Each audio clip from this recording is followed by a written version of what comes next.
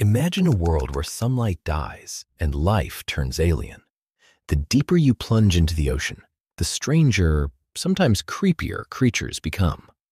At just 200 meters down, light fades and the rules of survival twist. Here, animals turn transparent, like the glass squid and glass octopus, vanishing into the gloom. Go deeper, and bodies start to glow. Bioluminescence becomes a weapon, a lure, or a cloak. Some, like the dragonfish, invent their own secret colors, invisible to almost everything else. Past a kilometer, in the midnight zone, pressure crushes, temperatures freeze, and evolution gets wild. Anglerfish fuse together to mate. Giant isopods scuttle like armored tanks. Even deeper in the Hadal trenches, snailfish thrive where no other vertebrate can, their bodies soft as jelly.